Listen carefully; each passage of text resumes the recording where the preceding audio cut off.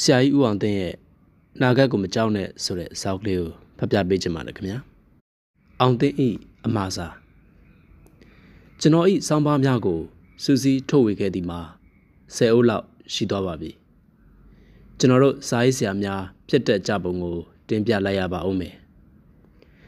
စာအရေးသားများလာသောအခါကိုရေးခဲ့ပြီးသောစာများအားလုံးကို ပြန်လည်မမှတ်မိနိုင်တော့ပါ အချို့ကို လုံးဝမေ့သွားတတ်ပါသည် အကြောင်းအားလျော်စွာ စာဟောင်းတွေကို ပြန်ပြီးဖတ်ကြည့်လိုက်ပြီးမှငါဒီအကြောင်းတွေကိုရေးပြပါပကောအားအသင့်တော်မိတတ်ပါတယ်တခါတရံကိုရေးမဲ့အကြောင်းအရာတွေအတွက် အကွက်ဆိုင်လွန်တော့ကြောင့်ရေးခဲ့ဘူးဒီကိုမမိပါလေရဲ့ဖြစ်ရက်တာရကအချို့ကိုထပ်ပြီးရေးထည့်လိုက်ရတတ်ပါတယ်ယခုအေစာစုတွေကို ပြန်ပြီးဖတ်လိုက်မိသောအခါတဘောလုံးမဟုတ်စေကမူအချို့သောတာရကလေးများဖြစ်ရက်ကလေးများကို အခြားတနေရာတွင်ထည့်ပြီးရေးလိုက်ခဲ့မိပါသေးသလားဟုတန်တရားဝင်လာမိပါသည်အကယ်၍ထို့သောသောစာထက်မှုလေးများကြုံတွေ့ခဲ့ရပါလေစာတဘောလုံးဤဥတီချက်ကို ထောက်ထားပြီးခွင့်လွှတ်ပေးကြပါရန်ကြိုတင်တောင်းပန်ပါသည် အောင်တင် 18ရက်2လ2002ခုနှစ်အနာဂတ်ကိုမကြောက်နဲ့ကုသကံဆောင်မလို့ထောင်ကြကျွန်တော်အကြောင်းကိုတူတူပဲပြောလိုက်ရပါဦးမယ်ကျွန်တော်ဖခင်ကဒုဗမာစီယုံဝင်တခင်ဦးမောင်နဲ့ကျွန်းစာကျွန်းပညာရေးဆိုတဲ့အတန်တွေမိုးမွန်နေချိန်မှာကျွန်တော်ကစတုဒ္ဒတန်အောင်ခဲ့တယ် ကျွန်တော်တို့ခက်ကတမ်းမြင့်ကြောင်၃မျိုးရှိတယ်မြန်မာစာမအပကျန်ဘာသာအားလုံးကိုအင်္ဂလိပ်လိုကြီးတင်သောမရှင်ကျောင်းကြီးများကဲ့သို့သောအင်္ဂလိပ်ကျောင်းအင်္ဂလိပ်မြန်မာနှစ်ဘာသာသင်အထက်တန်းကျောင်းအားလုံးမြန်မာလိုကြီးသာတင်ရသော တိုင်းရင်းမြန်မာထက်တန်းကျောင်းဤသုံးမျိုးတွင် ကျွန်တော်အဖေသခင်ဦးမောင်ကကျွန်တော်ကို မြန်မာထက်တန်းကျောင်းတွင်သာထားခဲ့သည်သခင်စိတ်ကြောက်လည်းဖြစ်နိုင်သည်အင်္ဂလိပ်မြန်မာနှစ်ဘာသာကျောင်းကျွန်တော်တို့မြို့အခေါ်အင်္ဂလိပ်ကျောင်းကငွေကုန်ကြေးကြအတန်ငယ်ပိုများသောကြောင့်အိမ်တွင်စီးပွားရေးကျနေခြင်းမို့လည်းဖြစ်ကောင်းဖြစ်ပါလိမ့်မယ်တိုင်းရင်းမြန်မာထက်တန်းကျောင်းတွင်အင်္ဂလိပ်စာကို အပိုဘာသာအဖြစ်သင်ခြင်းသင်မသင်ခြင်းနေ သင်ပေးနေသောကြောင့် ABC တာတာလောက်နမဲဖတ်တတ်တာလောက်ကိုတော့တက်ခဲ့ပါသေးတယ်ကျွန်တော်တက်ခဲ့သောအင်္ဂလိပ်စာအခြေခံလောက်ကို စာဖတ်သူသိထအောင်ပြောပြလိုက်ရပါဦးမည် he she ဆိုတာမျိုးတွေလောက်ကို ကျွန်တော်သိနေသည်သို့တော့ do does စသည်တို့ကိုဘယ်လိုနေရာမျိုးတွင် သုံးရသည်ကို ကျွန်တော်လုံးဝမခွဲခြားတတ်ခဲ့ အတွေ့အကြုံအမှတ်သားတွေကြောင့်မြင်းကြောင်ကြွက်ငှက်စသည့်စကလုံးများလောက်ကိုတော့အင်္ဂလိပ်လိုသိနေသည်ဆိုပါစို့ကျွန်တော်အင်္ဂလိပ်စာအခြေခံကထိုမြတာဖြစ်ပါသည်စစ်ကြည့်ပြီးတော့ထိုစဉ်ကတက်ကြွသောလူငယ်တိုင်းလွတ်လပ်ရေးလှုပ်ရှားမှုကြီးတွင် ပါဝင်ခဲ့ကြသည့်တိုင်တက်ကြွသောမောင်အောင်သိန်းသည်လည်း ပြည်သူရဲဘော်အောင်သိန်းဖြစ်သွားပါတော့သည်နောက်တော့ပါတီအစည်းအရုံးတွေဝင်လာသည့်တွင်ဆိုရှယ်လစ်ပါတီဝင်ဖြစ်သွားပါလေသည်ဒီအခါကျတော့မှအင်္ဂလိပ်စာတက်လို့ခြင်းစိတ်သည်ဖြက်ဖြက်လူဖြစ်နေပါတော့သည်သို့တော့လူပြိုအရွယ်လဲရောက်နေနိုင်ငံရေးတွေလဲရောက်နေဘယ်လိုလုပ်ပြီးတင်နိုင်တော့မှလဲဒီအတိုင်းပဲမျောနေပါတော့တယ်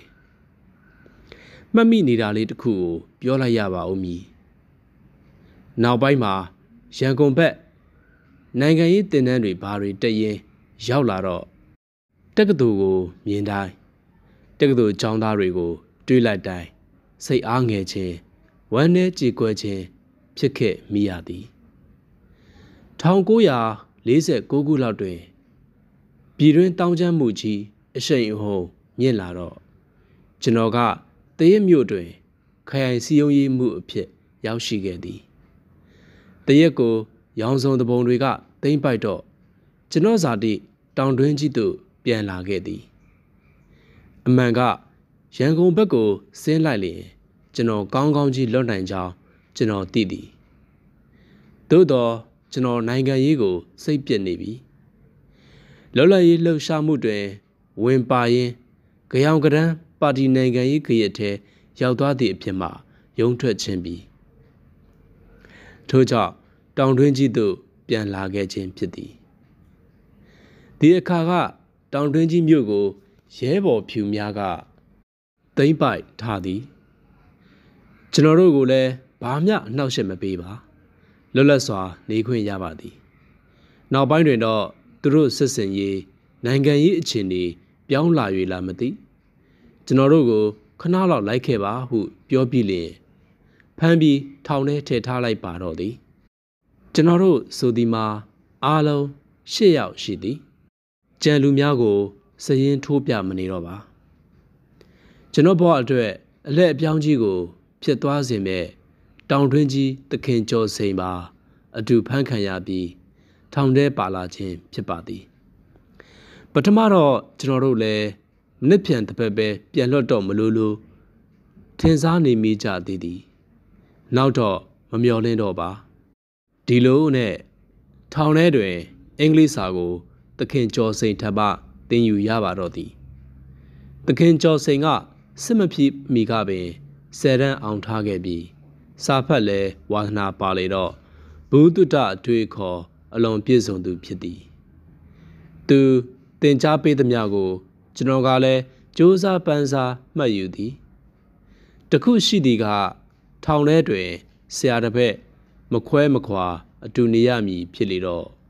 မေးစရာရှိလျင်လှမ်းမေးလိုက်ရုံပဲဖြစ်သည်အပြင်မှာဘဲကျူရှင်ဆရာနဲ့တင်တင်မရနိုင်သော အခွင့်ထူးကြီးကိုရနေသည်ဟုဆိုနိုင်ပါသည်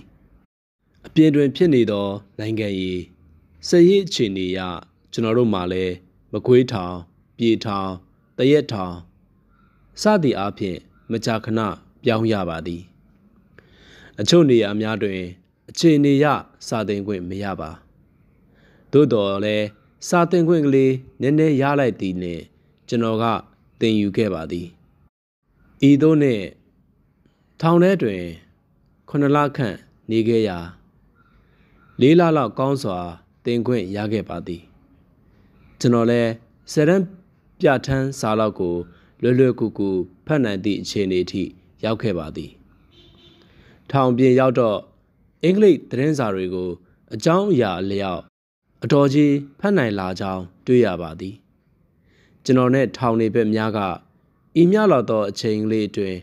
ဤမြောက်လောက်တက်မြောက်သွားသည်ကိုတအံ့တော်ပြောကြပါသည်စင်ဆက်ကျွန်တော်ကညံကောင်းလွန်း၍မဟုတ်ပါတချောင်းတည်းသောစိတ်နှင့် စန္ဒပြင်းစွာကြိုးစားခြင်းထောင်ထဲတွင်ထည့်ထားလိုက်သောကြောင့်အခြားထွေထွေရာရာဘာကိစ္စမှမရှိဘဲအချိန်ပြည့်လုံနေနိုင်ခြင်းစသည်တို့ကြောင့်ဤမြမြင်မြန်တက်မြောက်နိုင်ခြင်းဖြစ်ပါသည်ထို့နောက်ကျွန်တော်ဆယ်တန်းအောင်တက္ကသိုလ်ရောက်မဟာဝိဇ္ဇာအောင်တက္ကသိုလ်မှာဆရာဖြစ် နောက်ပြီးစာရေးဆရာဖြစ်1949ခုနှစ်က ရဲဘော်ဖြူတို့ဤဖမ်းဆီးခြင်းကိုသာမခံခဲ့ရပါလေကျွန်တော်ဒီအဖြစ်မျိုးဒီအစ်စ်မျိုးကို ရောက်လာနိုင်မလားဟုကျွန်တော်မကြာခဏတွေးမိပါသည်ထို့ကြောင့်ကုသိုလ်ကံဆောင်မလို့ထောင်ကျဟုဆိုလိုက်ရခြင်းဖြစ်ပါသည်ဘေရင်သဘောနဲ့သာပြောလိုက်ကြမည်ဆိုရင်ဇာတာညိုကျမစိုးခိုက်မှုထိတ်ခတ်ကြိုးချီအချုံနောင်ခံရသည်ဟု ဆိုရပါတော့မည်တရုတ်ခွာစာကြီးကျွန်တော်မှတ်သားဘူးသောတရုတ်ပညာရှိလင်ယူတန်ဤပုံမြင်လေးတစ်ခုကိုထည့်ရေးလိုက်ရပါဦးမည်တခါကရွာတရွာတွင်တရုတ်အဖိုးကြီးသားဖနှစ်ယောက်ရှိကြပါသည်သူတို့ကမြင်းမွေးသည်တနေ့တွင်တော့မြင်းတကောင်ပျောက်သွားသည် အိမ်နီးချင်းတွေကတရုတ်ကြီးကိုတနာကြသည်စိတ်မကောင်းပါဘူးဗျာခမကန်ဆိုးရှာတယ်ဘာဖြစ်လို့ကန်ဆိုးတယ်ပြောတာလဲခမည်းမှာမြင်းတကောင်ပျောက်သွားတယ်မဟုတ်လားမြင်းတကောင်ပျောက်သွားတာနဲ့ကန်ဆိုးတယ်လို့ခမည်းဘာကြောင့်ပြောနိုင်တာလဲဤတို့လျင်လုံးလေပတ်ချာလိုက်နေတော့အိမ်နီးချင်းလေးတွေကလည်းခွာစာကြီးဆိုပြီး ဘာမှစမပြောတော့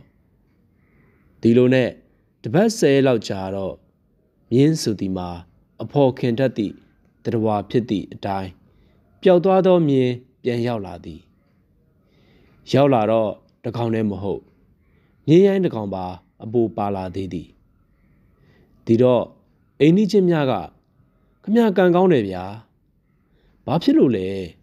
ခမမြင်းတကောင်တိုးလာတယ်လေ မြင်းတကောင်တိုးတာနဲ့ကံကောင်းတယ်လို့ဘာကြောင့်ပြောတာလဲရှင်ဒီအတိုင်းပင်ဂွားစာကြီးကိုစမပြောကြတော့ဒီလိုနဲ့နောက်ရောက်လာသောမြင်းရိုင်းကိုတားဖြစ်သူကစီးကောင်းကျင့်ရာမြင်းပေါ်ကလိမ့်ကြပြီးခြေကျိုးသွားသည်နှင့်ခြေထောက်ကလေးထော့နှင်းဖြစ်သွားရှာသည်အိမ်နီးချင်းတွေကစိတ်မကောင်းကြခမရကန်ဆိုးတယ်ဗျာဘာဖြစ်လို့လဲ ခမရမှာဒီသားတယောက်ပဲရှိတာခြေကျိုးသွားတာကိုကျုပ်သားခြေကျိုးတာနဲ့ကန်ဆိုးတယ်လို့ဘာကြောင့်ပြောနိုင်တယ်လဲရှင်ဒီအတိုင်းဂွားစာကြီးကိုစစ်ပြီးဘာမှမပြောကြတော့ချေ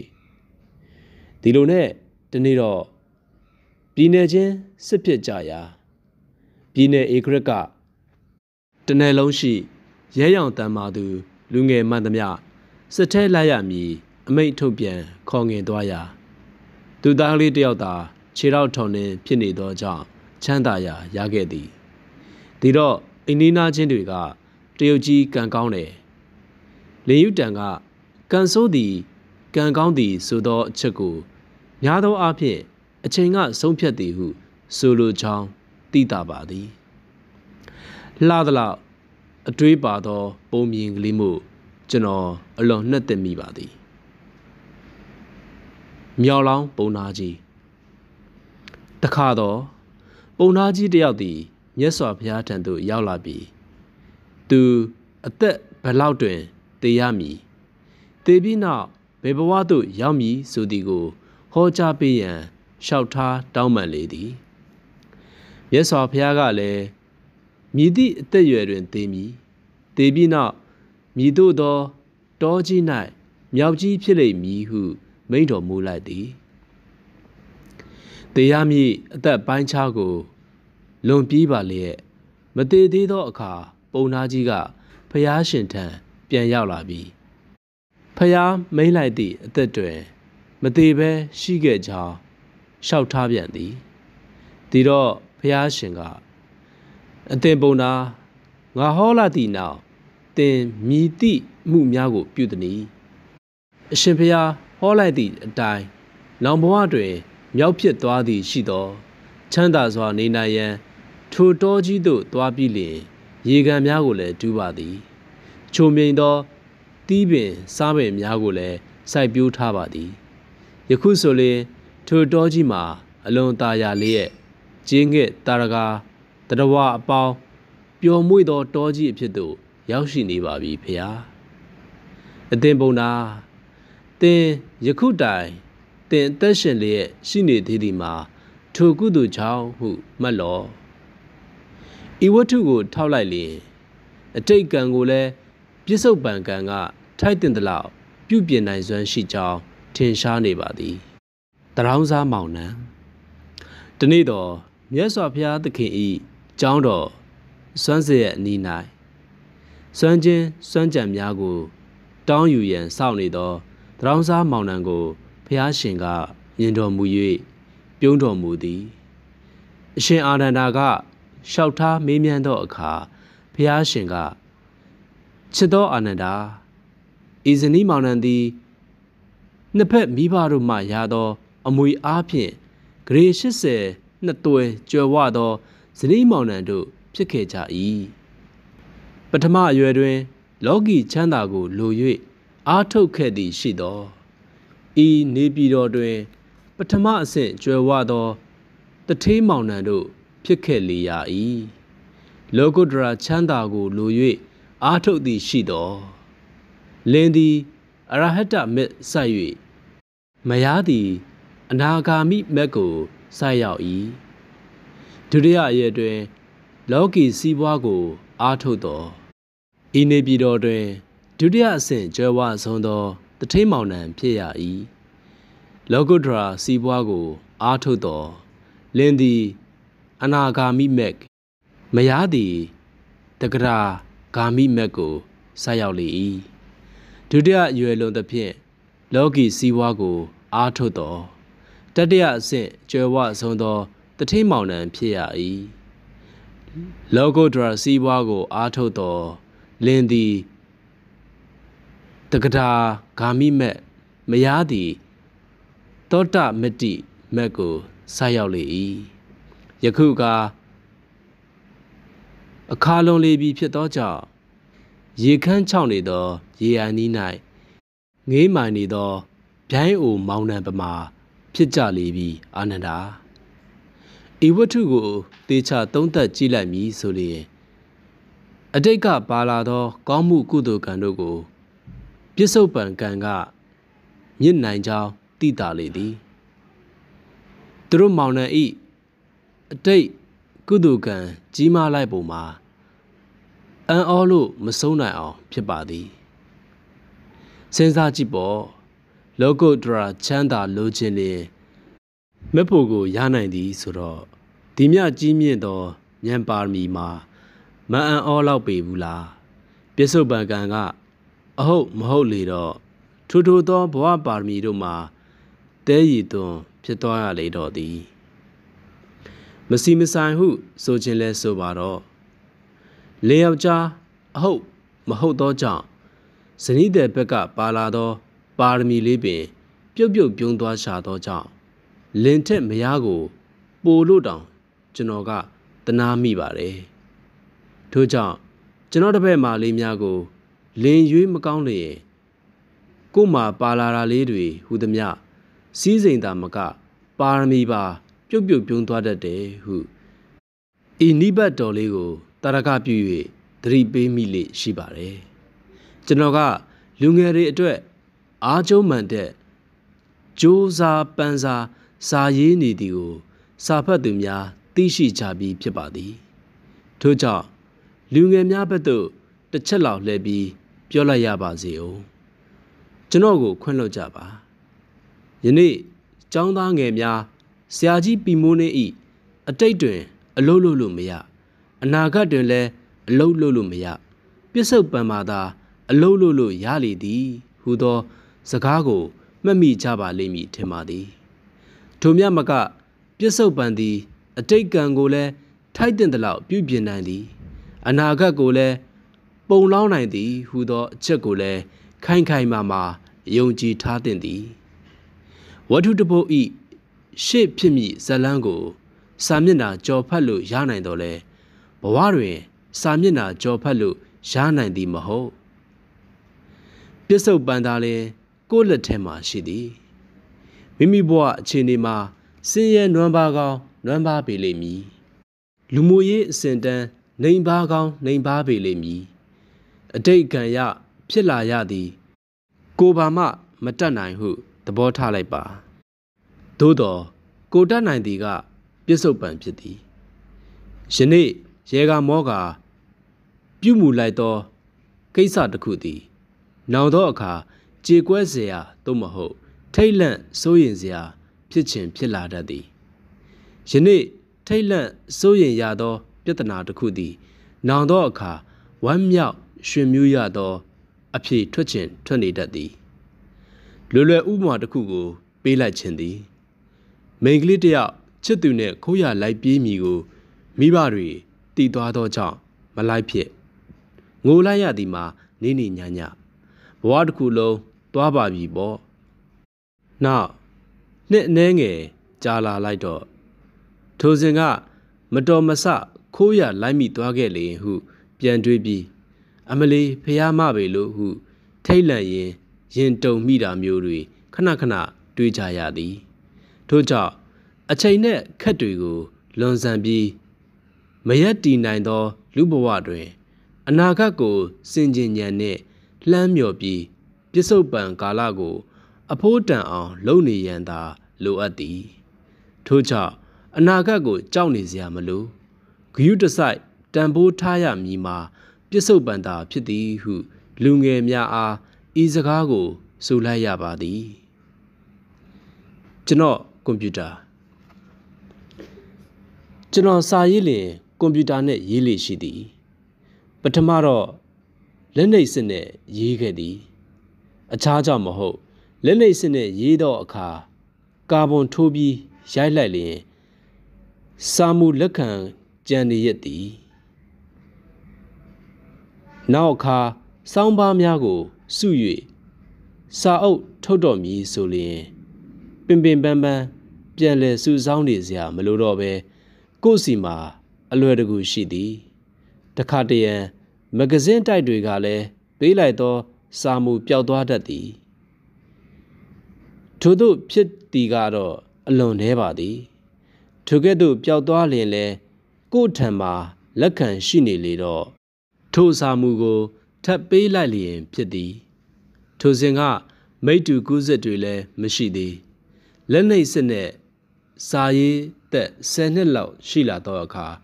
ကျွန်တော်ကွန်ပျူတာနဲ့စာရေးချင်လာသည်ကွန်ပျူတာနဲ့ရေးချင်သည်မှာအခြားကြောင့်မဟုတ်စာပိုက်ကြီးတစ်ခုလုံးကို နောက်ပို့ချိတ်ပို့လှုပ်ရှင်တာလှုပ်လို့ရသည် ဖြုတ်ချင်တယ်လဲဖြုတ်ပစ်လိုက်လို့ရသည် ဂျားထဲမှာစာထိုးရိုက်လို့လည်းရသည်စသည်စသည်ဖြင့်ကွန်ပျူတာဤကောင်း64ရက်တွေကိုကြားနေရစာထဲမှာဖတ်နေရသောကြောင့်ဖြစ်သည်ကွန်ပျူတာနဲ့စာရေးကျင်နေသည်မှာဖြက်ဖြက်လူးနေတော့လဲကွန်ပျူတာကိုကိုင်းကြည့်ဘူးဖို့ဝေးစွာနီးနီးကပ်ကပ်ပင်မမြင်ဘူးခဲ့သည်ထိုစဉ်က PC ဟုအတူခေါ်သော တကူသုံးကွန်ပျူတာဆိုသည်မှာမြန်မာပြည်တွင် မရှိသလောက်ရှားနေချိန်ဖြစ်သည်ထို့သောအချိန်မျိုးတွင် ကျွန်တော်ကကွန်ပျူတာစိတ်ယူထနေမိခြင်းဖြစ်သည်ကံကောင်းကျင်တော့ထိုစဉ်က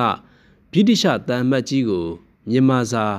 မြန်မာစကားသင်ပေးရခြင်းဖြစ်သည် ကျွန်တော်ကမြန်မာငွေအစားအချိုးညီအင်္ဂလိပ်ငွေပေးရန်ပြောတော့ သူကသဘောတူသည်ဥပဒေကခွင့်မပြုဘဲအင်္ဂလိပ်ငွေကိုဘယ်လိုလုပ်မှလဲဟု သူကမေးသေးသည်တန်မတ်ကြီးပဲတင်ထားပေးပါတန်မတ်ကြီးအင်္ဂလန်ကိုပြန်တဲ့အခါကျွန်တော်ဖတ်ချင်တဲ့စာကလေးတွေဝယ်လာပေးဖို့ဖြစ်ပါတယ်ဟုကျွန်တော်ကပြောလိုက်တော့သူကလည်းလိုလိုလားလားပင်တင်ထားပေးသည်ဤသို့အားဖြင့် ကျွန်တော်စာအုပ်တွေဖတ်နေခဲ့သည်တခါတွင်တော့ဖြင့်သူကလည်းအင်္ဂလန်မပြန်ဖြစ်သောကြောင့်ကျွန်တော်မှာအင်္ဂလိပ်ငွေအတော်လေးစုမိရတာဖြစ်နေသည်ဤတွင်ကွန်ပျူတာယောဂါကတိတိတသာကြီးတက်လာပါတော့သည်ထိုစဉ်ကတာမတ်ကြီးကိုယ်တိုင်ပင်လေကွန်ပျူတာမရှိသေးဒီတော့လန်ဒန်ရှိကျွန်တော်မိတ်ဆွေတဦးထံကွန်ပျူတာရှာဖွေဝယ်ပေးလိုက်ပါရန် မှာရသည်ကန်ဆိုးကျင်တော့သူကိုယ်တိုင်လဲကွန်ပျူတာကို ကောင်းကောင်းကင်ဘူးသည်မရှိသေးထို့အပြင်တကူသုံးကွန်ပျူတာတွေကလည်းအခုလိုအဆင့်မမြင့်သေးသူဝယ်ပေးလိုက်တာက Amstrad ဆိုပဲဒီတိုင်းသုံးလို့မရဘူး System Deck ခေါ်စနိုးသည့်ဓာတ်ပြလေးရှိမှလုပ်လို့ရသည် နောက်ပြီး မြန်မာစာလည်းရိုက်လို့မရအင်္ဂလိပ်စာပဲရိုက်လို့ရသည်ကျွန်တော်မှာမြောင်အုံးသီးရတယ်လို့ကွန်ပျူတာကြီးကိုတကိုင်းကိုင်းတကြီးကြီးနဲ့ပဲအာသာဖြစ်နေရတော့သည်ကျွန်တော်ဝယ်ပြီးလို့6လလောက်ပဲမကြာလိုက်ကွန်ပျူတာတွေကတရိပ်ရိပ်အဆင့်မြင့်လာလိုက်ဒီမှာနောက်ထပ်6ဆင့်လောက်ထိတိုးတက်သွားတော့သည်နောက်တော့မြန်မာပြည်မှာလဲကွန်ပျူတာတွေဒလဟောဝင်လာလေတော့သည် ကွန်ပျူတာသင်တန်းတွေကလည်းမှုပေါက်လိုက်သလိုပေါ်လာသည်ကွန်ပျူတာကွန်ပျူတာနေရာတကာကွန်ပျူတာတွေဖြစ်လာတော့ကျွန်တော်လဲထိုစဉ်က986ဆိုသည့်ကွန်ပျူတာလေးတစ်လုံးလောက်တော့ဝယ်လိုက်အောင်မယ်ဟု အားခဲပြီးပတ်စံစုလိုက်မိသည်ကျွန်တော်အားခဲနေစဉ်မှာကွန်ပျူတာတွေရဲ့အဆင့်တွေကလည်းစင်ကဲစင်ကဲတက်နေပြန်သည်တို့နှင့် ကျွန်တော်တပည့်မောင်နှံဤကွန်ပျူတာစတိုးသို့သွားကြည့်သည်986လေးတစ်လုံးလောက်ဝယ်ခြင်းပါသည်လို့ပြောလိုက်တော့တပည့်တွေကဆရာကွန်ပျူတာဝယ်ရင်အမြင့်ဆုံးကိုဝယ်ထားပါ986တွေဘာတွေကို ပြန်ကြည့်မနေနဲ့တော့ဟိုအဝေးကြီးမှာကြံခဲ့ပြီအခုနေမှာဆရာဝယ်ထားလိုက်ရင်နောက်ပိုင်းမှာဆရာစိတ်ညစ်နေရလိမ့်မယ်နောက်ထွက်လာတဲ့ software အကူပစ္စည်းတွေကို ဆရာသုံးလို့ရမှာမဟုတ်တော့ဘူးဒီတော့အမြင့်ဆုံးပန်တီယန်133ကိုသာဝယ်ထားလိုက်ပါကျွန်တော်စေရနာနဲ့ပြောတာပါတဲ့ဈေးကိုမေးကြည့်လိုက်တော့2သိန်း1000နဲ့ဒီမှာရင်ကွန်ပျူတာယူဒုက္ခရောက်ပါလေတော့သည်ကျွန်တော်မှာလက်ထက်ကင်ထားသည်က986ကလေးဝယ်နိုင်ယုံ36000လောက်သာရှိသည်ငါမတက်နိုင်ဘူးကွာငါမှာ36000ပဲရှိတာလို့ ပြောလိုက်တော့ဆရာယူသွားလိုက်ကျန်တဲ့ငွေနောက်မှပေးဟုပြောပြီးယူလိုက်တော့ကိုရွှေတပည့်ကစစ်တနာဒလဟောလိုက်ပြီးဆရာမထူးဘူးလေဆာပရင်တာပုံနှိပ်စက်ပါယူသွားငွေကိုနောက်မှရှင်8000ပဲကြတယ်ဟဲ့ကောင်လေးတွေလာကြစမ်းကွန်ပျူတာရောပရင်တာပါယူသွားဆရာအိမ်ကိုလိုက်သွားပြီးဆင်ပေးလိုက်ကြစမ်းဒီမှာရင်တပည့်တယောက်က အားပေးသေးတယ်ဆရာကြီးကွန်ပျူတာဆိုတာဝယ်ပြီးရင်ရှုံးပြီလို့တွတ်ထားရမယ်တဲ့သူပြောတာမှန်တယ်ဝယ်ပြီးတာနဲ့နောက်မော်တဲ့အစ်စ်တွေကထွက်လာလိုက်တော့ကိုပစ္စည်းကပြတိုက်တဲ့ပို့ရတော့မလို့လို့ဖြစ်သွားတော့သည်ပြန်ရောက်ဖို့မကြိုးစားပါနဲ့လေတဲ့လက်နှိပ်စစ်ဖိုးလောက်တောင်ရတော့မှာမဟုတ်တဲ့ဤတို့နဲ့ကျွေးတသိန်းကျော်နဲ့ကွန်ပျူတာပိုင်ရှင်ကြီးဖြစ်လာတော့သည်အကျွေးတသိန်းကျော်နဲ့ပြန်လာသည်ဆိုတော့ အိမ်ကမိမကရန်ထောင်ပါလေတော့သည်ကျွန်တော်ကဟေးမိမငါပြောမယ်တေချာနားထောင်မင်းရောငါရောငယ်ငယ်ကဆင်းရဲခဲ့ဘူးတယ်ငါပတ်စံငွေကြေးအမက်မောဘူးဆိုတာကိုလည်းမင်းသိတယ်ဒါပေမဲ့ငါမြေးတွေကိုကွန်ပျူတာနဲ့ကြီးပြင်းစေရမယ်မြေးတွေကိုကြည်ပြီးဝဲတာလို့ပြောလိုက်တော့မိကိုရေနဲ့တတ်လိုက်တယ်လို့အဖွားကြီးငိန်ကျသွားလေတည်းကျွန်တော်ကလည်းကွန်ပျူတာနဲ့ပတ်သက်ပြီး ဟိုဟာဝဲခြင်းဒီဟာလှုပ်ချင်ဖြစ်နေတော့အိမ်ရှင်မနဲ့နှစ်ဦးသဘောတူဂတိစာချုပ်လုပ်ရသည်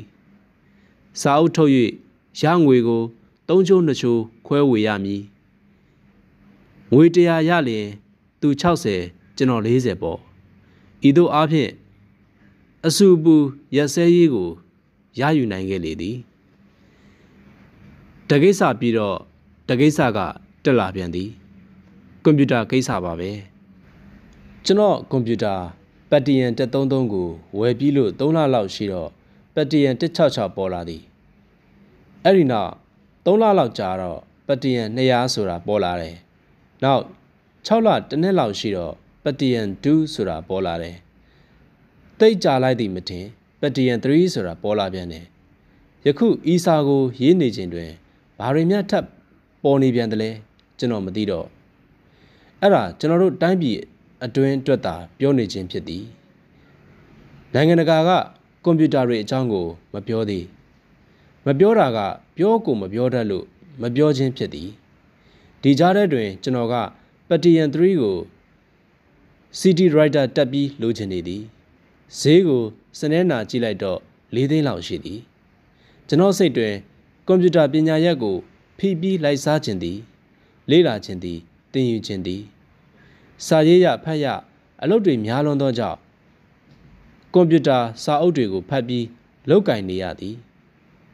ဒီရွယ်ကြီးမှာသင်တန်းတွေကိုပင်တွားတက်လိုက်ခြင်းသေးသည်ကိုကိုကိုမနှဲဆုံးမှပြီးအောင်ထားရသည်သင်တန်းမတက်ခြင်းပဲနေပါမည်လားကွန်ပျူတာတွေအင်တာနက်တွေကြောင့်လောကကြီးတစ်ခုလုံးဤနေနီးထိုင်ဟန်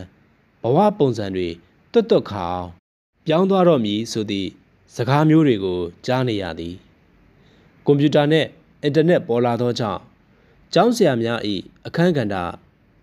ပါလျားသွားတော့မည်ဆိုသည့်စကားများကိုနားရှံအောင်ကြားနေရသည်မဟုတ်လားကျွန်တော်ကကျောင်းဆရာတယောက်ဖြစ်သည်မျိုးစစ်သက်လူငယ်တွေနဲ့မပြတ်ဆက်ဆံနေရသည်ဒီတော့ကျွန်တော်ကဘူးတုဒ္ဒအရာတွင် သူတို့ရှိက ပြေးမနေနိုင်ရင်တောင်မှသူတို့နဲ့ဒန်းတူလိုက်နိုင်ခြင်းသည် ဒီလိုမာနရှိသောကျောင်းဆရာမောင်အောင်သင်းတယောက်ဒုက္ခရောက်သွားစေသော စကားတစ်ခုကို ပြောလိုက်ရပါဦးမည်ကွန်ပျူတာ software ခေါ်အကူကိရိယာတွေတီထွင်လှုပ်ဆောင်နိုင်မှုကြောင့်ဂရေ80ကျော်ဝါသောတထေးကြီးများဖြစ်သွားသည့်မစ္စတာဘေဂိတ်အကြောင်းကို စာဖတ်သူများလည်းကြားဘူးလိမ့်မည်ထင်ပါသည်သူကတက္ကသိုလ်ပညာကိုစုံကန့်တန်အောင်မသိကျောင်းထွက်သွားသည်ပြင်းလို့မဟုတ်ပေးခြင်းတေးခြင်းလို့မဟုတ် ငိုးရစေဆွဲနေလို့မဟုတ်ကျောင်းတင်ပညာရေးစနစ်ဟာအလွန်နှေးလွန်းတယ်ဘာမဟုတ်တာလေးတွေကို၄နဲ့၅မို့လောက်တင်ယူနေရလေတော့ဘဝထဲမှာအချိန်တွေကိုယူလွန်းတယ်ထို့ကြောင့်ကိုယ့်ဘာသာကိုလွတ်တော့မယ်တဲ့အခုတော့ဖြင့်သူကကဘာပေါ်တွင်အချမ်းသာဆုံးတထေးစင်းဝင်ဖြစ်နေလေပြီရခင်ရခင်တထေးများကကုန်းလာယုံလာကြော့ပါရဲ့ပြဲနေအောင်စူးစမ်းခဲ့ရသည်သို့မဟုတ်လျင်လဲ ငွေရင်းနှီးတွေနဲ့စက်ယုံကြီးတွေနဲ့လှုပ်ခဲ့ရသည် သူကတော့အုံနောက်ကိုပဲအားကိုးသည်သူတို့ပြောရရင်အတတ်ပညာတစ်ခုတည်းနဲ့တထေးကြီးဖြစ်လာခဲ့ရသည်ပညာခက်ဆိုတာဒါပဲလားဟုတွေးနေမိသည်ဂေါရမမြတ်စွာဘုရားကပညာဓိကဘုရားဖြစ်သည်ထို့ကြောင့်ပညာထွန်းကားလိမ့်မည်ဟုသောစကားကိုလည်းတတိယမိလိုက်သေးသည်ပညာခက်ကြီးသို့ရောက်လာပြီ ထို့ကြောင့်အောင်သိန်းမင်းဟာကလေးတွေကိုရပ်ပင့်ရရစ်တင်ပေးတက်ယုံကလေးနဲ့ဆရာလုံနေမှာလားဟုကိုကိုကို ပြန်မေးနေရသည့်အဖြစ်သို့ရောက်လာနေပါပြီကျွန်တော်ကွန်ပျူတာပတီယန်733ကြီးကိုစိတ်ပြက်လက်ပြက်ကြည့်လိုက်ရင်ရှေ့မှာကျွန်တော်ចောင်းဆရာလှုပ်ရှားဖို့စားပေါက်မလွယ်တော့ပါဘူးထင်ပါရဲ့ဟုလဲတွေးပူနေမိသည်အရှင်ပင်ပါမယ် ဝေဒမဂ္ဂဇင်းကကျွန်တော်အားစောင်းပါးတစ်စောင်လောက်ပေးရန်ပြောလာသည် ကျွန်တော်ကဝေဒလိုမဂ္ဂဇင်းမျိုးအတွက်ရေးစရာအကြောင်းအရာကျွန်တော်မှမရှိကြောင်းပြောပြသည်သူတို့ကဆရာရေးကျင်အောင်ရေးပါဘာကိုပဲရေးရေးထဲ့ပါမည်ဟုပြောပြသည်အခောက်ခောက်လာ၍အခါခါတောင်းပန်ခဲ့သည် အထူးသဖြင့်ဝေဒသမီးပြိုကဇွဲကောင်းလှသည် ထို့ကြောင့်သာလျှင်ဤဆောင်မကိုရေးဖြစ်ခဲ့ခြင်းဖြစ်သည်ဤသို့သောဘေရင်မန္တရာတိတ်ထိစသော စာဆောင်များတွင် ကျွန်တော်မရေးခြင်းလူငယ်တွေကိုလည်းထိုစာဆောင်မျိုးကိုဖတ်ပြီးဘေရင်ဟောရာနားထောင်ကချမ်းသာရာရနိုးနိုးမဖြစ်စေခြင်းဘေရင်ဆရာဟောလိုက်တိုင်းရှောက်လို့၍အမားအမားအယွန်းယွန်းဖြစ်ခဲ့လျင်ဘေရင်ဆရာက သူ့ကြောင့်ဖြစ်သည်လို့ ဘယ်တော့မှတာဝန်ယူလိမ့်မည်မဟုတ်ကြောင်းစသည်တို့ကိုပင်တခါကကျွန်တော်ရေးခဲ့ပူသည်ထိုဆောင်းပါးကိုနမယ်ကြီးဘေရင်ဆရာတယောက်က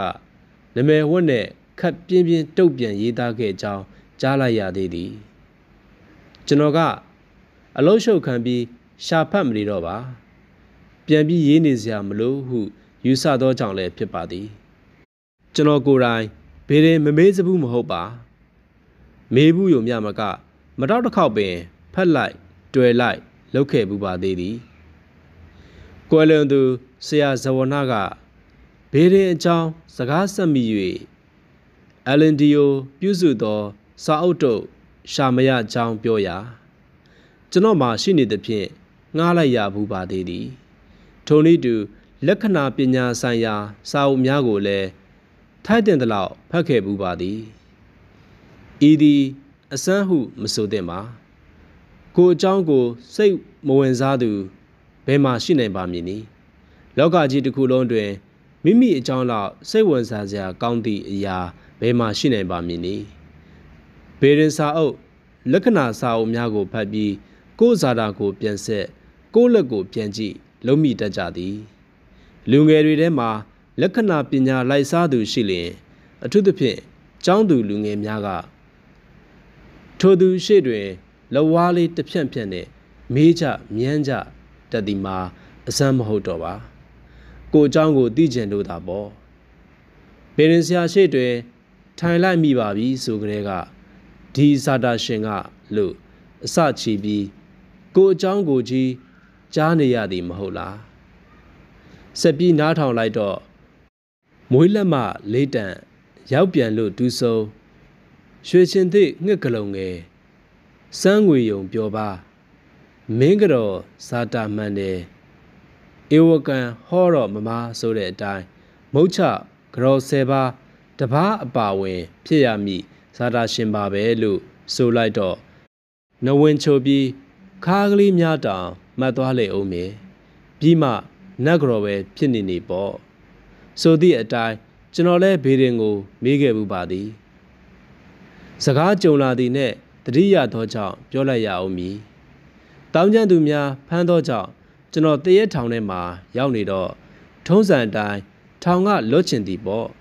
အရွယ်ကလည်းကမန်းကရန်မိမပိုးကျင်သည့်အရွယ်ဆိုတော့ပိုလို့စိုးသည်ဟုပြောရမည်ထောင်ထဲတွင် ပါလာသူတယောက်ကပွင့်ပြူကအလန်နီသခင်ဖိုးဖကျွန်တော်ကသူ့နာမည်က အလွန်စီပိုစီနင်းရှိသည်ဟုပြောတော့သူကဘာဖြစ်လို့လဲကွာတဲ့ဟာခမ ्या ကိုအဖိုးလဲခေါ်ရသည်အဘလဲခေါ်ရသည်ဒီထက်စီးတဲ့နာမည်ရှိသေးလားလို့ပြောတော့သူကရဲပြီးအေးမင်းလိုကောင်းတဲ့မှဲ့ထားတာကွာတဲ့1984ခုလောက်ကပွင့်ပြူကိုစာပေဟောပြောပွဲအတွက်ရောက်သွားလိုက်တော့စပိန်တစည်းနဲ့သူ့ကိုတွေးလိုက်သေးသည်ဟစ်ကောင်အောင်တဲ့ဒိုးမျိုးကိုလာပြီး ဘာတွေတောင်ပြောမြောက်ပြောလုံးမလို့လဲလို့អော်သွားသေးတယ်အဲ့ဒီတခင်ဖိုးဘကဘယ်ရင်အတော်လေးတွတ်တတ်သည်ကျွန်တော်တွေ့ဘူးသောအလန်နီကွန်မြူနစ်အတော်များများသည်ဘေးရင်ဝါသနာပါသည်ကို တွေ့ရသည်ဤကားစကားချက်ဒါနဲ့ကျွန်တော်ဘယ်တော့လောက်ထောင်ကလွတ်မလဲဆိုတာကိုတခင်ဖိုးဘအားတွတ်ပေးစမ်းပါလို့ပြောတော့သူကတွတ်ပြင်းပြီဟုပြောပြီး နေရွှေညရွှေနဲ့အတော်လေးကိုကြာသွားသည် နောက်တော့ကျွန်တော်ကစိတ်မရှိတော့သည်နဲ့ဒီနေ့တွတ်ပေးပြဟုဇော့ခိုင်းမှကြောက်တဲ့မိုးလေးမှာ166နဲ့တွတ်ပါလေတော့သည်ကျွန်တော်ကနားမလည်နိုင်တော့ပဲသခင်ဖိုးပါကျုပ်ကိုခုနှစ်တက်ကရစ်တောင်မမေးပဲဘယ်လိုတွတ်နေတာလဲဗျမင်းကိုတွတ်တာမဟုတ်ဘူးငါဇာတာငါတွတ်နေတာသခင်ဖိုးပါရဲ့တေးလိုက်ပါတော့ ကျုပ်ကိုတွတ်ပေးစမ်းပါဆိုမှခမားဘာသာနောက်မှတွက်ကျုပ်ကိုအရင်တွတ်ပေးအောင်ဒီတော့မှသခင်ဘိုးဘကမှတ်လောက်သားလောက်စကားတစ်ခုကိုပြောသည်ဟစ်ကအောင်တဲ့မင်းနားမလဲပဲမပြောနဲ့ကွာဘေးရင်ဆရာဇာတာနေနေတဲ့အခါဟောသမျှလွဲနေတတ်တယ်နားလေလားဘေးရင်ဆရာတွေဘေးရင်မဟောပဲတနေရရမှာအဋိဋ္ဌံဝင်နေတယ်ဆိုတာတွေဟာ သူတို့ကိုယ်တိုင်ကဇာတာနေနေတဲ့အခိုက်မို့ဟောကန်းကိုရှောင်နေတာကွာမှတ်ထားတဲ့ကျွန်တော်မှာအตาလေးကုန်နေလိုက်သည်အဲ့လိုနဲ့သူ့ဇာတာကိုသူကျေနပ်တော်မှကျွန်တော်ခုနှစ်တက်ကရက်တွေကိုမေးပြီးတွက်လေတော့သည်အတော်လေးကြာကြာတွက်ပြီးတော့သူမဟောသေးပဲငိုင်းနေပြန်သည်ကျွန်တော်ကသူ့အဟောစောင့်နေသည်ကဲဟောလေဗျာမဟုတ်ဘူးကွာ ငါဇေဇဝါဖြစ်နေတယ်ဘာကိုဇဝေဇဝါဖြစ်နေတာလဲမင်းဇာတာအရဆိုရင်လာမဲ့44ရက်အတွင်းမှာလွတ်ကိုလွတ်ရမယ်အဲ့ဒီထက်ပိုပြီးနေရကိန်းမရှိဘူးဒါဖြစ်လေပြီးရောပေါ့ဘာကိုဇဝေဇဝါဖြစ်နေတာလဲငါဇာတာကမလွတ်နိုင်ဘူးမင်းတို့ငါတို့ကိုတပြိုင်တည်းဖမ်းတာဆိုတော့တပြိုင်တည်းပဲလွတ်ရမယ်မဟုတ်လားဒါကြောင့်ဇဝေဇဝါဖြစ်နေတာကွာ ဒါများဇဝေဇဝါဖြစ်နေသေးသလားကျုပ်က44ရက်အတွင်းလွတ်မယ်ဆိုပြီးတာပဲခမည်းဘာသာထောင်ထဲမှာတသက်လုံးပဲနေနေပေါ့ဒီတော့သူကထဆဲပါလေတော့သည်မိမိပြောက်ပြောက်ပဲနေခဲ့ရာနောက်ပိုင်းမှာပြန်စင်းစားကြည့်လိုက်တော့အဲ့ဒီနောက်တလမပြည့်ခင်ကျွန်တော်ကထောင်ဖောက်ပြေးခဲ့လို့လွတ်လာခဲ့သည်တခင်ဖိုးပကြံခဲ့သည်နောက်ထပ်၄၅လလောက်ကြာမှသူတို့လွတ်လာကြသည် တခင်ဘိုးဘဟောတာမှန်သည်ဟုဝန်ခံရမည်ဤသို့မှန်သည်ကိုလည်းတွေးခဲ့ဘူးပါသည်တက်တက်ဆင်အောင်လွဲတာကိုလည်းတွေးခဲ့ဘူးပါသည်ကျွန်တော်ပြောချင်သည်ကကျွန်တော်ကြားနာဖို့တာတခုကိုပြောပါမည်တခါတော့မြတ်စွာဘုရားသခင်ထံတော်သို့ပုံလားတယောက်ကရောက်လာပြီးသူဘဲခါတွင်တေရမည်တေပြည့်လင်ဘယ်ဘဝရောက်မည်ကိုလျှောက်ထားမေးမြန်းသည်ဖျားရှင်က တေမိကာလကိုမိန့်သည်တေပြည့်နောက်ဤသို့တောကြီးတွင်မြောက်ဖြစ်လိမ့်မည်ဟုဟောလိုက်သည်ထို့နောက်ကာလအတန်ကြာတော့ပုံနာကြီးဖះရှင်ထံရောက်လာပြီးဖះရှင်ဟောလိုက်သည့်ကာလကိုလွန်လာပြီးဖြစ်ကြောင်းယခုတိုင်မသေးသေးကြောင်းရှောက်ထားသည်ဒီတော့ဖះရှင်ကဒီတော့တွင်မှာတင်ပုံနာဘာတွေလုပ်ခဲ့တယ်လဲအရှင်ဖះဟောတဲ့အတိုင်းသိရင် ဟိုတောကြီးထဲမှာမြောက်သွားဖြစ်မှာပါဒါကြောင့်ကျွန်ုပ်ဟာမြောက်ဖြစ်တဲ့အခါမှာချမ်းသာစွာနေရအောင်အဲ့ဒီတောကြီးထဲမှာရေကန်တူးပါတယ်ချုံမြင်တဲ့တတိပင်စားပင်တွေကိုစိုက်ပါတယ်ပုံနာအခုအဲ့ဒီတောဟာตายရရဲ့လားအလွန်ตายရပါတယ်ဖေဟာတီးပင်စားပင်ဝေဝေဆာဆာနဲ့ရေကန်ကြီးကလည်းအေးမြကြီးလင်းတာကြောင့်ကျင်းငယ်ပေါင်းတို့ပျော်မွေ့ရာဖြစ်နေပါတယ်ဖေဟာ ပုံနာအဲ့ဒီကောင်းမှုကြောင့်သင်ဟာဤမြအသက်ရှင်လာရသည်ကိုသိလောတေတော့လဲအဲ့ဒီတောထဲမှာမြောက်ကြီးဖြစ်သွားခဲ့ရတာပါပဲဤဒေသနာကိုကျွန်တော်မကြာခဏစဉ်းစားမိဘူးသည်ထို့ပြင်1950လောက်တုန်းကဆရာစန္ဒရထံလက္ခဏာမေးခဲ့တော့ဆရာပြောလိုက်သည့်စကားကိုလည်းကျွန်တော်သတိရမိသည် လက္ခဏာကြည်ပြီးလို့သူဟောတင်တာတွေဟောပြီးတော့မေးချင်တာမေးပါဆိုသည်နဲ့ဆရာကျွန်တော်မှာလူတော့သူတော့မတိုးနိုင်အောင်လူဖြစ်ရှုံးနိုင်တဲ့ဝေဒနာတစ်ခုခုဖြစ်နိုင်သလားခမားလက္ခဏာမှာမပါဘူးဒီနေရာမှာခမားသိထားမှာကကျုပ်တို့ဗေဒင်လက္ခဏာပညာဆိုတာအတိတ်ကံကိုသာဟောနိုင်တာပြစ္ဆုတ်ပံကံဆိုတာကကျုပ်တို့နဲ့မဆိုင်ဘူးခမားနဲ့သာဆိုင်တာ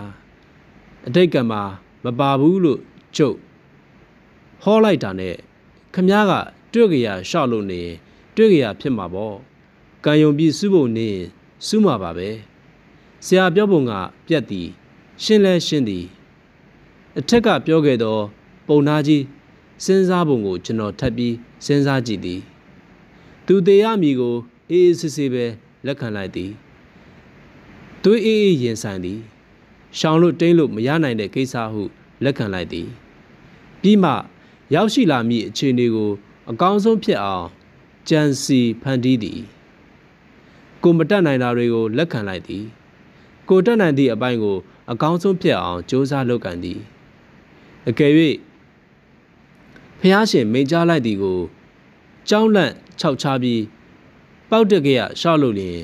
မြောက်လောက်အဆင့်တောင်မှရောက်ချင်မှရောက်တော်မူ ဒီထက်နေသောဘဝသို့ပင် ရောက်ကောင်းရောက်သွားပေလိမ့်မည်ထို့ပြင်အသက်ရှည်ရာရှည်ချောင်းရေရွေးရေကန်တူးခြင်းတက်ပင်စိုက်ပျိုးခြင်းစသည့်ရေတရာတို့မှာဤပုံသားကို အခြေခံခဲ့သည်လောဟုလဲစဉ်းစားမိသည်မိတို့ပင်ဖြစ်စေဗေဒလက္ခဏာဆိုသည်မှာ အတိတ်ကံကိုသာဟောနိုင်စွမ်းရှိသည်ပြစ္ဆုတ်ပံကံဆိုသည်မှာကိုနှင့်သာလင်ဆိုင်သည်ဟူသောအချက်ကို ကျွန်တော်ခံခံကြီးယူထားသည်ထို့ပြင်အတိတ်ကံဤအရေးကိုပြစ္ဆုတ်ပံလောက်ရက်ကထိုက်တင်သလောက်ပြုပြင်နိုင်သည်ကိုလည်းသတိထားမိလိုက်သည်ကျွန်တော်လူငယ်တွေကိုဒါပဲပြောချင်သည်ပုံတပုံပြောလိုက်ရပါဦးမည်တခါကဘေးရင်လက္ခဏာကျွမ်းကျင်သော ပုံနာတစ်ယောက်သည်ခီးသွားရင်လမ်းပေါ်တွင်ခြေရာတစ်ခုကိုတွေးလိုက်သည်ခြေရာပေါ်နေသော အရေးအကြောင်းလက္ခဏာများကိုကြည့်လိုက်တော့မေးအဂရစ်တို့၏လက္ခဏာဖြစ်နေသည်ပြည်သူလူထုအခြေအနေကိုစနေနာထွက်သောပြည့်ရှင်မင်းတစ်ပါး၏ခြေရာလေးလောဒုတိမဟုတ်မူ၍ထင်းနှန်းကိုစောင့်လင့်နေသောမင်းလောင်းဤခြေရာလေးလောတီးလိုစိတ်ပြင်းပြလာသောကြောင့်ခြေရာကိုနောက်ရောက်ခံလိုက်လံမိသည်ခြေရာချင်းယောက်ျားကို တွေ့ပါပြီထို့ကြောင့် ဆက်ပြီးလိုက်မိသည်တို့နှင့်လမ်းခုလက်လူပြတ်သောနေရာရောက်တော့ထိုယောက်ျားသည် အပေါ့စွန့်သည်ပုံနာကြီးဘဝင်မကြနိုင်တော့သူအပေါ့စွန့်ပုံက အောက်တန်းကျလာသည်ဟုထင်မိသည်သို့တော့ခြေရာအရေးအကြောင်းက မုတ်ချမေအဂရတပါဖြစ်ရမည်ဟုညွှန်ပြနေသည်ထို့ကြောင့်ဆက်ပြီးလိုက်သွားရင် သူနဲ့ခီးသွားပေါ်အချင်းဖြင့်မိဖွဲ့သည်ဒီကမိတ်ဆွေက ဘာလို့လုပ်ပါသလဲကျုပ်ကဇက်ထဲကပါဇက်သမားပါဇက်ထဲမှာတော့ဘာလို့ရပါသလဲရှင်ပင်လို့ရပါတယ်လူငယ်တွေကိုပြောချင်တာကဒါပါပဲတိတ်ကံရရှင်ဘရင်ပါပဲကံပေါင်ရိုးမှာကောင်လေးတယောက်ကကံပေါင်ရိုးတစ်ခုပေါ်မှာထိုင်ပြီးငားများနေသည်ထိုခိုက်လင်းပြန်ကြီးတစ်စင်းကသူ့ခေါင်းပေါ်ကပြန်သွားသည် ကောင်လေးကမောကြည့်လိုက်မိပြီး အဲ့လိုလင်းပြန်ကြီးကို မောင်းရတဲ့လင်းမှုကြီးဖြစ်ရရင်ဘလောက်ကောင်းလိုက်မလဲဟု စိတ်ကူးရင်မိလိုက်သည်။နောက်နှစ်ပေါင်းအတော်ကြာတော့ဒီကောင်လေးကတကယ့်ကိုလင်းမှုကြီးတယောက်ဖြစ်လာခဲ့သည်။ဤတို့နဲ့တနေ့မှာလင်းကြီးကို မောင်းလာရင်နဲ့အောက်ဘက်စီကိုလှမ်းကြည့်လိုက်တော့ကံပေါင်ရုပ်တစ်ခုမှာကောင်လေးတယောက်အေးအေးလူလူထိုင်ပြီးငားများနေသည်ကိုလှမ်းမြင်လိုက်မိသည် ဒီတော့လင်းမူကြီးစိတ်ထဲမှာဒီကောင်လေးကိုအေးအေးလူလူထိုင်ပြီးငားများနေရရင်ဘလောက်ကောင်းလိုက်မလဲဟုအားကျစိတ်ကူးမိလိုက်သည်ဘယ်မှာဖတ်ခဲ့ဘူးတာလဲဘသူပြောလိုက်တာလဲကျွန်တော်မမှတ်မိတော့ပြီဒီအကြောင်းအရာကို ပုံပြင်ခေါ်ဖို့လဲခက်ခက်ခက်ပါပဲဘာပဲခေါ်ခေါ်ကျွန်တော်မကြာခဏသတိရမိသည်လင်းစီးလိုက်တိုင်းသတိရမိသည် မကြာသေးမီကကျွန်တော်စာပေဟောပြောပွဲအတွက်မြိတ်မြို့ကိုလင်းပြန်နဲ့သွားခဲ့ရသည်ဒီတော့လဲဓာလေးကိုသတိရမိပြန်လိုက်သည် မကြာသေးမီကကျွန်တော်တပည့်ဟောင်းစနီးမောင်နှံကိုပြန်တွေ့လိုက်သည်သူတို့ကတကြွဲဟုခေါ်နိုင်သော မောင်နှံတွေဖြစ်နေကြပါပြီပွားစီးလာသောသားသမီးတွေနဲ့အတူကျွန်တော်ကိုဟိုးရှိကအတိုင်းချစ်ချစ်ခင်ခင်အခမ်းကြသည်သူတို့နှစ်ယောက်ချစ်သူဘဝက အတော်လေးကိုရုန်းကန်ခဲ့ရချသည်ကျွန်တော်မျက်စိအောက်မှာတင်တွေ့ခဲ့ရတာဆိုတော့ကျွန်တော်လည်းမမေ့နိုင်သူတို့ကလည်းမမေ့နိုင်ပါပဲဒီလိုနဲ့ချေအောင်တောင်းဖြစ်တွေကိုစကားဆက်မိလိုက်တော့တပည့်မာလေးတကြဲကြော်ကြီးကဆရာရဲ့ကျမတို့ချမ်းသာပါတယ်အဆဆပြည့်စုံပါတယ်ဒါပေမဲ့ဆရာက ကျမတို့ငယ်ဘဝကို အားလုံးသိခဲ့ပြီးသားဖြစ်တာကြောင့်ပြောလိုက်ရပါဦးမယ် အဲ့ဒီတော့ကရုပ်ကန်ခဲ့ရသလောက်မပြောတော့ဘူးဆရာကြီးအခုလေကျမတို့မှာဆရာမြင်တဲ့အတိုင်းအချွေရန်စသဖြင့်လူလေသေးမရှိစိုးနိုင်ပါတယ်ဒါပေမဲ့စိတ်ပင်ပန်းရတာတွေနဲ့မကာမိဘူးလို့တောင်ထင်ပါတယ်တဲ့သူပြောနေစဉ်အခိုက်မှာကျွန်တော်ကလေမှုကြီးကိုသတိရလိုက်မိသေးသည်ကျွန်တော်ကိုယ်တိုင်ဤအဖြစ်ကိုလည်းပြောလိုက်ရပါဦးမည်ယခုဆိုရင်ပင်ကျွန်တော်ဒီဆိုင်းဆရာတယောက်ဖြစ်နေခဲ့ပါပြီ ဆရာကြီးစင်းရင်တွင်ပင်ဝင်နေပြီးဖြစ်ပါသည်ထို့ကြောင့်မဂ္ဂဇင်းများစာဆောင်များကလည်းကျွန်တော်စာများကိုမက်မက်မော်မော်တောင်းခံချပါသည် ကျွန်တော်ကလည်းတတ်နိုင်သမျှစ조사ပန်းစားရေးမိတတ်ပါသည်ဒီလိုဖြစ်လာတော့စာဖတ်ခြင်းတော်ကြီးကိုယုံနေလာပါတော့သည်စာရေးဆရာတယောက်ဖြစ်မလာမီကကျွန်တော်အလွန်ကိုစာဖတ်ခဲ့ပါသည်ထိုကာလကိုလွမ်းမိတယ်လို့လို့မကြာခဏဖြစ်မိသည် စာရေးသူတယောက်မို့ဖဲစာဖတ်သူတယောက်သာဖြစ်လိုက်ခြင်းမိသည်တပတ်မှာ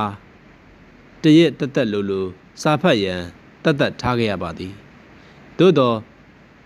ဧည့်သည်ကိစ္စလူမှုရေးကိစ္စဆိုတာမျိုးတွေဝင်လာလိုက်ပြန်တော့အခါထိုတရက်ကလေးကုံသွားသောကြောင့်နှမျောလိုက်ရမိပြန်သည်မှာလဲမကြာခဏဖြစ်ပါသည်နောက်ပြီးစာမဖတ်ဖဲရေးလိုချီတာနေလျင်ခတ်တုံးတုံးစာရေးဆရာဖြစ်သွားမည်ကိုလည်းသိနေရပြန်သည် ခတ်တုံးတုံးစာရေးဆရာဖြစ်နေရသည့်ထက်စာဖတ်သူတက်တက်ဖြစ်နေရသည်ကပိုကောင်းသည်မဟုတ်ပါလားတို့ဖြစ်လျင်နမယ်လေးနေရာလေးရနေသောစာရေးဆရာဖြစ်ကိုဆွလွတ်နိုင်ပါရဲ့လားဟုကိုကိုကိုတေချာပြန်ပြီးစမေးကြည့်လိုက်တော့မဆွလွတ်နိုင်ပြီဟုသော အဖြေကိုရလာပြန်သည် လေမူးကြီးတောင်းတချက်ကိုတေချာစဉ်းစားလိုက်ကြည့်ပြန်တော့လဲသူလည်းထိုဘဝမျိုးကို ပြန်မသွားနိုင်တော့ပြီဟုထင်မိသည် ကျွန်တော်လည်းတပည့်တကြွယ်မာလေးပြောလိုက်သည်ကိုတေချာစဉ်းစားကြည့်မိသည် ပြောမိတာပြောနေသည်သူလည်းထို့သောဘဝမျိုးသို့ဘယ်မှာပြန်လို့ရောက်ချင်ပါမည်နည်းလူကြီးတွေပြောလို့ရှိသောစကားတခွန်းကို ပြန်ပြီးကြားရမိလာပြန်သည်ငငယ်တုန်းကကံပေါင်ရုံမှာငပိဖုန်နဲ့ထမင်းမြင်ခဲ့တာကို ပြန်ပြောမနေနဲ့ဟူသောစကားဖြစ်သည်ငငယ်တုန်းကငပိဖုန်နဲ့ထမင်းမြင်ခဲ့တော်လဲယခုဘယ်မှာနေနိုင်မှာတော့မည်နီ နောက်ပြီးကျွန်တော်တို့တွေကလေးဘဝကို ပြန်ပြီးလွမ်းလိုက်မိပြီဆိုရင်ပျော်စရာကောင်းသော အကွက်လေးတွေလောက်ကိုသာပြန်ပြီးတွေးမိခြင်းဖြစ်သည် ကလေးဘဝကိုတေချာစုံစုံစစ်စစ်ပြန်ကြည့်လိုက်ရင်ကလေးဘဝအလျောက်စိတ်ညစ်ခဲ့ရတာလေးတွေငိုခဲ့ရတာလေးတွေလည်းတပုံတပင်ကြီးရှိခဲ့ဘူးဒီကိုစဉ်းစားမိနိုင်ပါသည်ဒီလိုစဉ်းစားကြည့်လိုက်မိသည်တော့လဲကကံပေါင်ရုံးမှာဆိုတာလွမ်းရုံလောက်သာပြန်လွမ်းဖို့ဖြစ်ပြီး ပြန်လှမ်းဖို့ဆိုတာတော့မဖြစ်နိုင်မှန်းထင်မိသည်